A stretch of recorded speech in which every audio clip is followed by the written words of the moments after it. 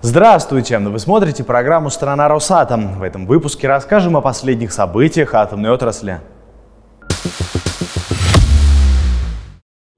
В Росатоме начали ковку заготовок реакторной установки «Ритм-200Н» для первой в России наземной АЭС малой мощности в Якутии. Технологический процесс производства заготовок сложный и в то же время завораживающий.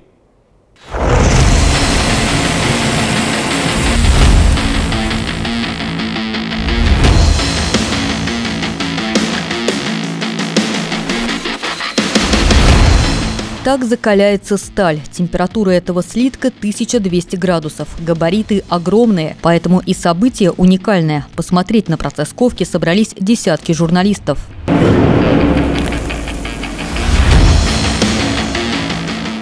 Этот слиток весит 50 тонн. Представьте только, какие усилия нужно применить, чтобы придать ему форму.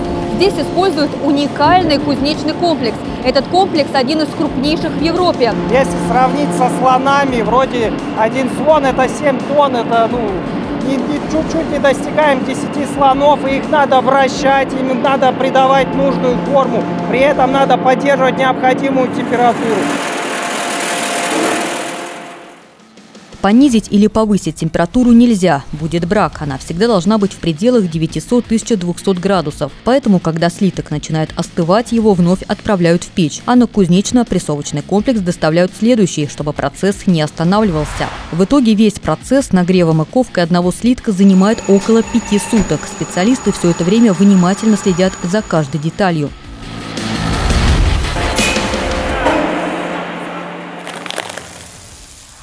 После того, как заготовка принимает необходимые формы и габариты, ее отправляют в следующий цех на механическую обработку.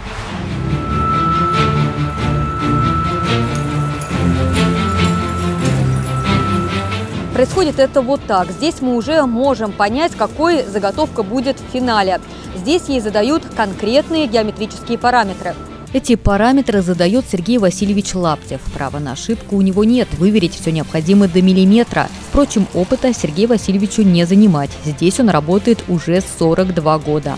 Деталь очень крупногабаритная, обработка состоит сложность в том, что все это большое, долго, как говорится, долго времени на ее обработку ходит. На данную бичайку ходит до 7 соток обработки. Немногие это могут, а мы можем. За трехвековую историю здесь создавали много разного оборудования, в том числе первые реакторы ВВР. А сейчас здесь создают заготовки для новейшего реактора Ритм-200Н. Он станет сердцем первой в России наземной атомной станции малой мощности.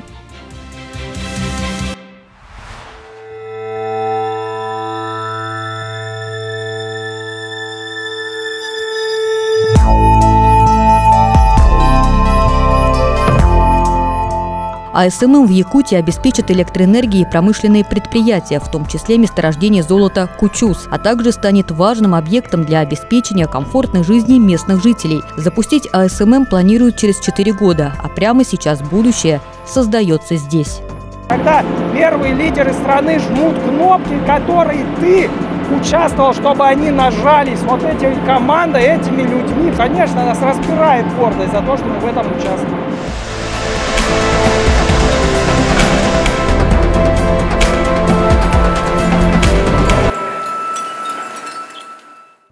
Эти детали куют из металла, которые совсем недавно заливали. Мы показывали в эфире. Давайте вспомним эти зрелищные кадры, как проходил процесс первой плавки.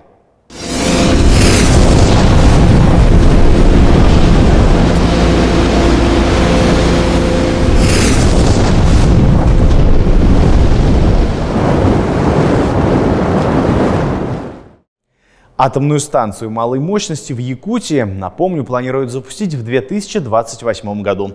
А вообще сейчас в России на разной стадии готовности строительства три станции. Это энергоблоки большой мощности. Два блока ВВР ТОИ, уже строящийся Курск АЭС-2, два блока ВВР 1200 поколения безопасности 3+, второй очереди Ленинградская АЭС-2, которую только готовят к началу сооружения, также ведется подготовка к строительству двух блоков Смоленска АЭС-2. Таким образом, их общая проектная мощность составляет почти 7,5 тысяч мегаватт.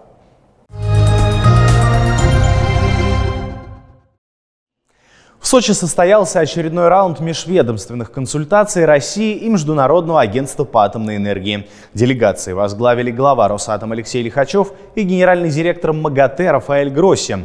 За круглым столом был рассмотрен широкий круг вопросов, в том числе по перспективным направлениям развития ядерной энергетики в России и в мире. Также были обговорены вопросы, касающиеся обеспечения безопасности Запорожской АЭС. Вот уже на протяжении полутора лет физическое присутствие миссии МАГАТЭ на площадке Запорожской атомной электростанции создает дополнительные элементы безопасности, способствует э, более безопасному существованию Запорожской атомной электростанции. Роль России как поставщика номер один в мире атомных технологий сложно переоценить. Поэтому у нас с Россией, с госкорпорацией «Росатом» всегда ведутся соответствующие обсуждения по ядерной физической безопасности, по безопасности использования атомных технологий во всем мире и по российским объектам. А далее о других событиях атомной отрасли, о которых расскажем в кратком видеообзоре. Специалисты Лавозерского горно-обогатительного комбината проведут доразведку новых месторождений. Дополнительные запасы позволят отгружать до 20 тысяч тонн лапаритового концентрата в год. О создании атомного проекта СССР и про рекордные достижения Росатома сегодня. Это тема лекции, с которой выступил глава Росатома Алексей Лихачев перед первокурсниками филиала МГУ «Саров». Встреча прошла в Национальном центре физики и математики. 15 участников Всемирного фестиваля молодежи отправятся в экспедицию на Северный полюс на атомном ледоколе Росатома. Победителями отбора стали представители восьми стран. На площадке строящегося третьего энергоблока Ленинградская АЭС-2 завершено армирование фундамента здания реактора. Армирование фундамента стальной арматурой позволяет создать своеобразный каркас и сделать фундамент предельно прочным. Таким образом, будущий энергоблок второй очереди строящейся атомной станции готов к заливке первого бетона.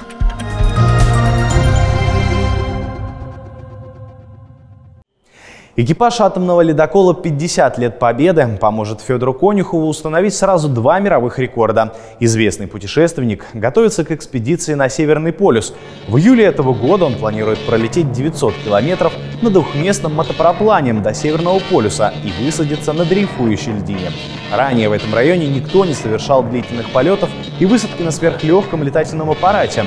Экипаж атомного ледокола «50 лет Победы» обеспечит доставку на одну из дрейфующих льдин в районе архипелага Земли Франца Иосифа, а затем спустя три недели заберет путешественника с Северного полюса. Дни Эрмитажа в Волгодонске. В местном музее и библиотеке открылась экспозиция, посвященная шедеврам защитного вооружения XVI века. Ее привезли в атомный город из Санкт-Петербурга из собрания Государственного Эрмитажа.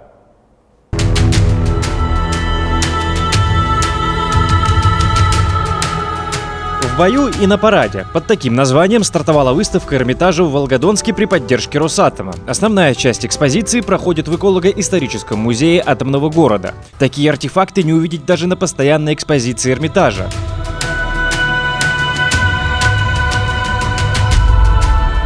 Для гостей с ограниченными возможностями открыта инклюзивная экспозиция. Вот, например, один из слабовидящих посетителей ощущает всю прелесть экспонатов на кончиках пальцев. Для меня сейчас это руки-глаза, всегда пощупать что-то надо. Вторая часть выставки представлена в Центральной библиотеке Волгодонска. И тут знакомство со средневековьем для разных посетителей проходит по-разному. Чувствую себя королем. Результат тоже понравился. Ребят постарше погружали в атмосферу рыцарей и замков стратегически, ну то есть через настольную игру. Выпадает какое-то задание, которое они должны выполнить. Знакомство с самим Эрмитажем проходит по последнему слову техники, через VR-очки. Мне очень понравилось то, что можно посмотреть э, Эрмитаж полностью, во всех деталях, э, послушать историю ранних э, времен. В первые дни работы на выставку зарегистрировались более трех тысяч человек, а всего дни Эрмитажа в Волгодонске продлятся до 7 апреля. А далее в программе наша новая рубрика «Люди и города» о том, как совместными усилиями государство и Росатом меняют к лучшему жизнь в атомных городах.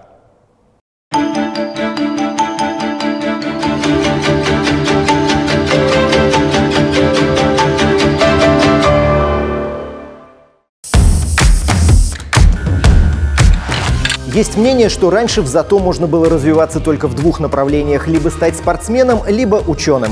Спорить не будем, но сейчас дела обстоят совершенно иначе. В небольших атомных городах есть огромные возможности для самореализации, становления характера и раскрытия своего таланта.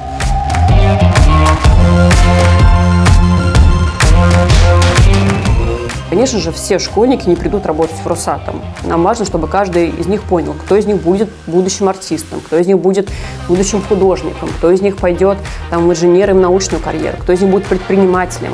А нам самое главное, чтобы человек смог себя найти, поэтому, конечно же, для этого создаются условия.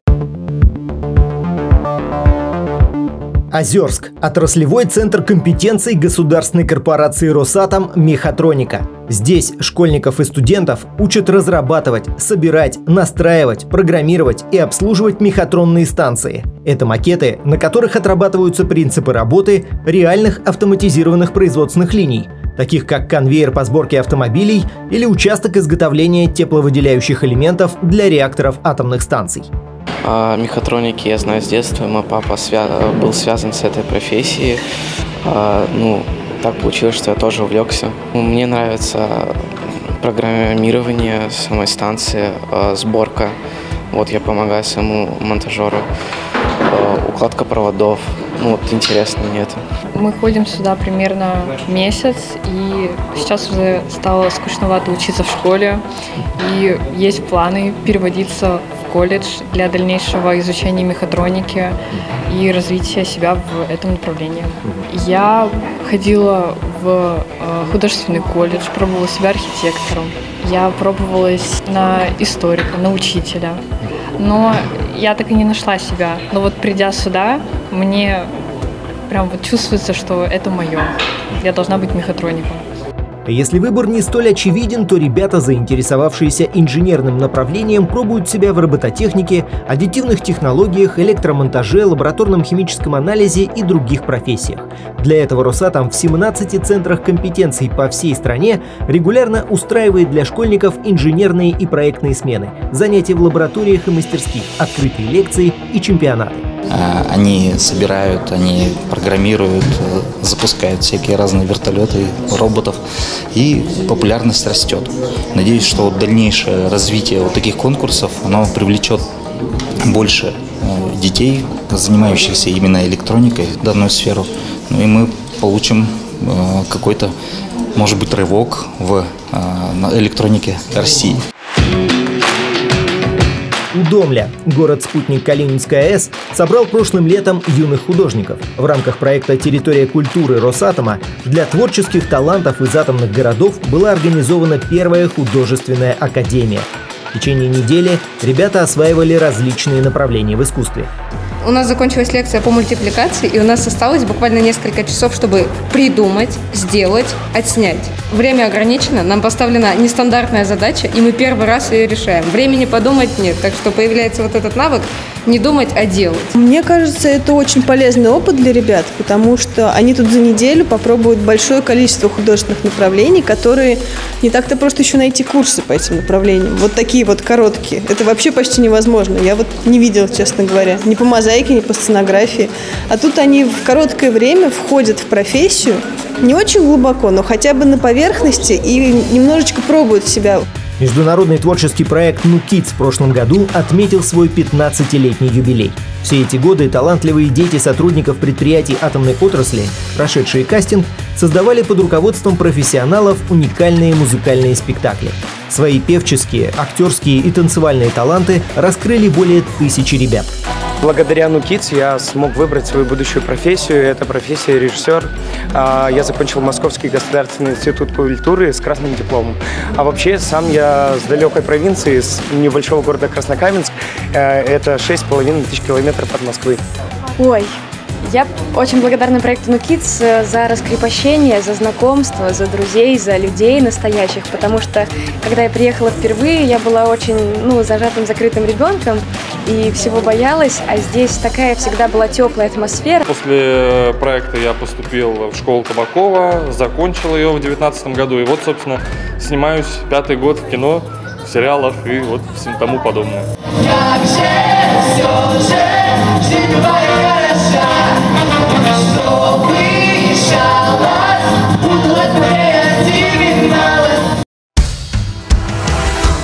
город Сосновый Бор. Здесь, на базе Союза ветеранов Афганистана, три года назад было создано военно-патриотическое объединение «Варяг», где с юных лет обучают военному делу. Сколько нужно времени, чтобы научиться разбирать автомат? Ну вот Артем у нас занимается примерно год. И вот за год он э, стабильно его собирает по норме на пятерку, то есть это 50 секунд. Ты смотри, поставил и, и вперед, и вниз одновременно давишь. Красавец. Нравится так собирать автомат, прикольно. Как с лего. Чем интереснее, чем лего автомат?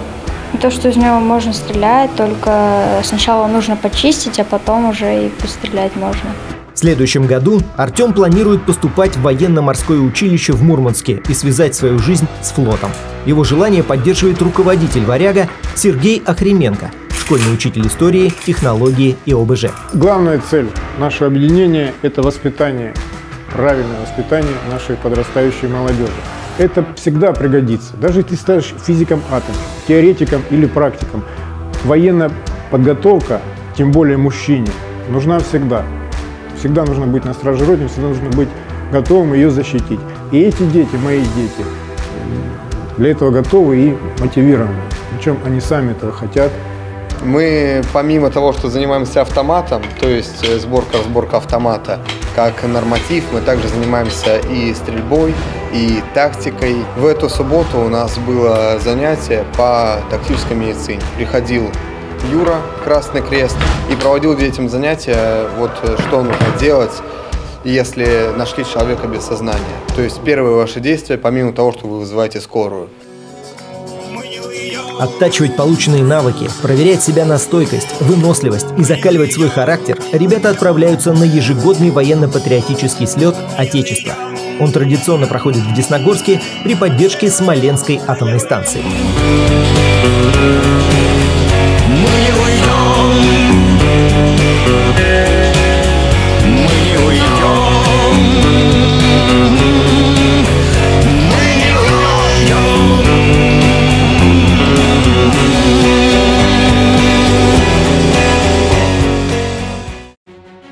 Дети – наше будущее, и работа с ними важна. Впрочем, как важны и другие инициативы жителей атомных городов.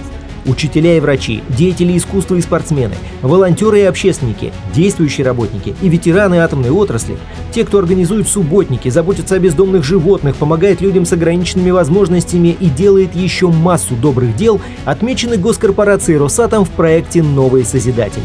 Этих людей выбирали рабочие коллективы, родственники, знакомые и соседи. В конкурсе участвовали 1178 активистов.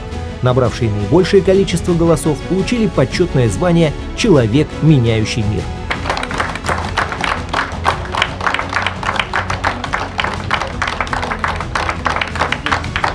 Созидатель – это человек, который просто что-то делает для окружающих. Он просто это делает, потому что так должно быть, потому что так надо. Ну, Созидатель – это человек, прежде всего, бескорыстный, без э, оглядки назад, тот, который идет и идет вперед по той дороге, которую сам себе строит. А Созидатель – это тот человек, который э, трудится на благо общества, который э, любит э, свою страну, э, свой город, э, людей, которые в нем живут. Э, и, соответственно, все вместе они делают э, пространство лучше, чище, красивее. Главное, чтобы вы понимали и донесли до своих товарищей по проектам, до просто близких, родных, знакомых людей в наших городах, что обстановка в городах, развитие социальной сферы, поддержка инициатив людей, вот ликвидация каких-то острых углов с э, медициной связаны, где-то с образованием, для нас столь же важны, сколь и производственная повестка.